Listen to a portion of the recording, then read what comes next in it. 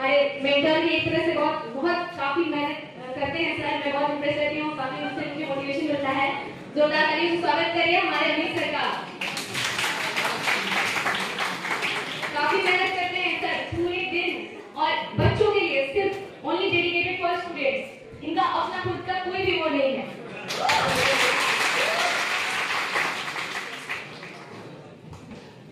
Friends कैसे हैं आप सब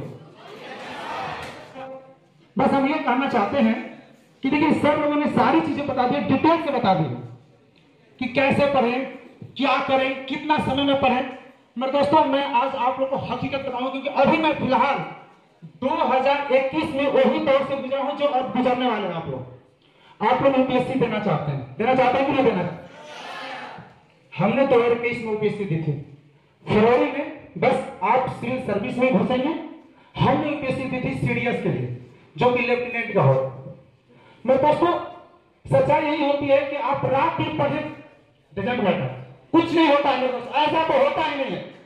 अगर आप रात दिन पढ़ते हैं और सोचते हैं कि निकाल लेंगे लिख कर कारा नहीं निकलेगा तो गारंटी है मेरे दोस्तों, अगर आपको क्लास में टीचर पढ़ाता है, अगर चार घंटा पढ़ाता है मेरे दोस्तों तो उसका मंथन करने में आपको चार घंटे लग जाएँगे। इससे कम कभी नहीं लगेगा लिख कर मैं। तो सोचिए कि आपको क्लास में टीचर चार घंटा पढ़ा दिया और आपने और आपने जो है चार घंटा मंथन के टोटल कितने हो गए? चार घंटा पढ़ने में आपका दिमाग थक जाएगा। चार घंटा जब मंथन करेंगे तो दिमाग पता और कार्य करेगा?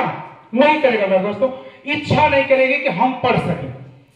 फिर वही काम करोगे कि ज़बरदस्ती बैठोगे पढ़ने के लिए और टाइम आपका बीतेगा।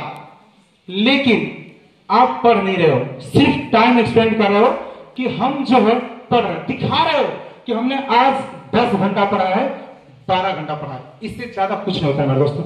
अब चार घंटा ही पढ़े, पाँच घंटा ही पढ़े, लेकिन मन से पढ़े। जब उतना आप पढ़िएगा तो आपको लगेगा, अंदर से फीलिंग आएगा, दूसरों को मत बताओ मेरे दोस्तों को दूसरा कितना पढ़ता नहीं, आपको अंदर से फीलिंग आएगी कि हमें कितना पढ़ना है।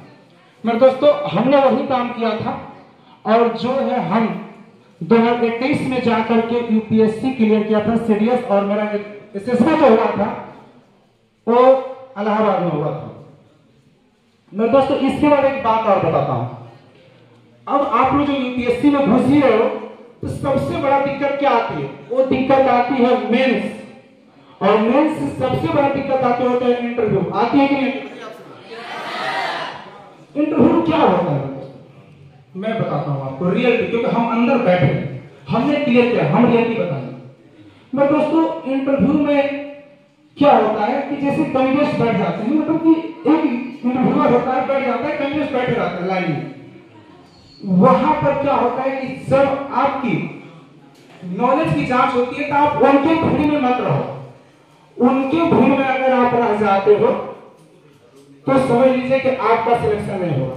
क्योंकि आपको उस समय अट्रैक्शन करना बहुत ज़रूरी होता है। आप इस तरह से अपने लैंग्वेज को रखिए, जिससे लगे कि नहीं जो इंटरव्यू है वो हमारी बातों को सुन रहा है, वहाँ से आपका पॉजिटिव पॉइंट बनता है। इस बात को याद रखिएगा।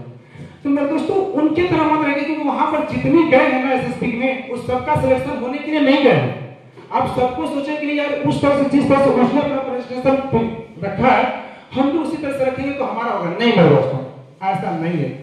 अगर उस तरह से रखते हो तो अगर कहीं उसका नहीं हुआ तो आपका भी नहीं होगा। एक चाय लेंगे क्योंकि आपने उसका टू कॉपी कर दिया। वहाँ पर आपको टू कॉपी नहीं करना है, अपनी क्षमताएँ दिखानी है। आप कितना जानते हो इन चीज़ों को दिखाना है। बाकी आपको नहीं दिखाना है कि हम बहुत कभी पढ़े हुए हैं, बहुत विद्वान हैं। हमसे दुनिया में कोई आगे नहीं है। मेरे दोस्तों, दुनिया में बहुत लोग हैं, ऐसे ऐसे लोग हैं कि आप सोच नहीं सकते हो। लेकिन मेरे दोस्तों, उनका नहीं सिलेक्शन हो पाता। अभी मैंने सारे टीचर लोगों का ध्यान से मैं सुन रहा था, उनसे ज़्यादा वो है, लेकिन मेरे दोस्तों, हमने सुन रहा था सभी लोगों की बातों को। मेरे दोस्तों, ये मायने नहीं रखता है कि आप 10 साल से तैयारी करें 5 साल से तैयारी करें 6 साल से तैयारी करें। दोस्तों, मायने यह रखता है कि आप कितने वर्ष से तैयारी करो और कितना लगन में तैयारी करो तो मायने ये रखता है।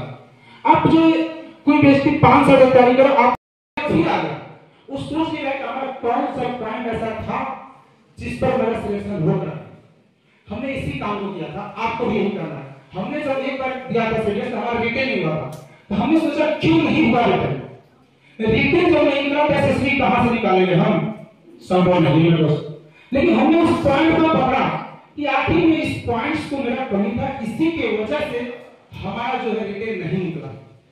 और मेरे दोस्तों, खुशी की बात यह है कि प्लेटफॉर्म जो है, जो आई एस पी का सपना जो था, गरीब बच्चों को, वह लेकर के आया। क्योंकि मेरे दोस्तों, अगर जो है, हम जो है, अगर मान लो कि देहरादून गए पढ़ने में तो क्यों गए? क्योंकि सुविधाएँ नहीं थी पढ़ने का। तभी तो हम देहरादून गए पढ़ने लिए। नहीं तो अगर भगवान होता तो हम भगवान ही पढ़े क्यों जाते देहरादून पढ़ने के लिए? भाई, अगर देहरादून वाले टीचर हमको भगवान पढ़ा रहे हैं तो हम क्यों गए देहरादून पढ़ने के लिए? क्योंकि यहाँ पर मेरे दोस्तों कोई ऐसा नहीं है जो लाखपति का बेटा हो। सब लोग हैं हम लोग उसी मिडिल परिवार से, जिससे हमारे माता पिता गुजर गए तो मेरे दोस्तों, यही हम बताना चाहेंगे कि आप लोग बस, और हाँ मोटिवेशनल की जहाँ तक बात हुई, सर, हम मोटिवेट नहीं होते हैं। हमें मोटिवेशनल की ज़रूरत होती है।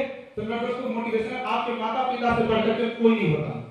आपके सबसे बड़ा मोटिवेशन है तो आपके माता पिता उनकी परेशानी मोटिवेशनल आपको है, आपकी माँ को मोटिवेशनल है, मेरे दोस्तों। वो माँ। जो कई हफ्तों तक अपनी साड़ियाँ तक नहीं बदलते, क्यों? अगर साड़ी पहनेगी तो मेरा बेटा को कॉपी और कलम की कमी हो जाएगी इसलिए अपनी साड़ी नहीं बदलती मेरे दोस्तों ये बात तो मोटिवेशन है। मैं एक बात और बताना चाहता हूँ, जो सच्चाई है। हम इसी तरह से पढ़ाई कर रहे थे। और मैं देहरादून से आया था ठंडी से थी, यहाँ पर गर्मी चल रही थी। और मैं अपने पिता के लिए मैं किसान से बिलोंग करता हूँ तो मैं अपने पिता के लिए लेकर के चला गया पानी। और मेरे पिताजी फार्मर थे खेती की कोई दिक्कत नहीं था। जब हम गए तो पूरा मुझे पसीना से, क्योंकि देहरादून में ठंडी पड़ती है, मुझे पसीना से पूरा भीगा हुआ। तो क्या हुआ कि जब हम वहाँ से पीछे की तरफ़ लौटा तो पहले तो पिताजी मेरे ये बताया कि बेटा लगता है तेरी माँ तुमको देखी नहीं है, इसीलिए तुमको गमछा देना भूल गई। फिर जब मैं उधर से लौटा तो मेरे सर पर यह एहसास हुआ नहीं, जो मेरे पिता का गमछा है वो उनके सर पर ही है और मेरे सर पर आ चुका है। यानी पिता का गमछा तो मुझसे मुझे यही सीख मिला कि मेरे पिताजी यह कहना चाहते हैं कि देख बेटा काम हम करें जीवन में तुम वो काम कभी मत करना। यही हमको सबसे बड़ी सीख मिली इसलिए मैं बार बार कहता हूँ मैं दोस्तों, पढ़ाई करिए, लगन के साथ करिए, नहीं करना इच्छा होती, मत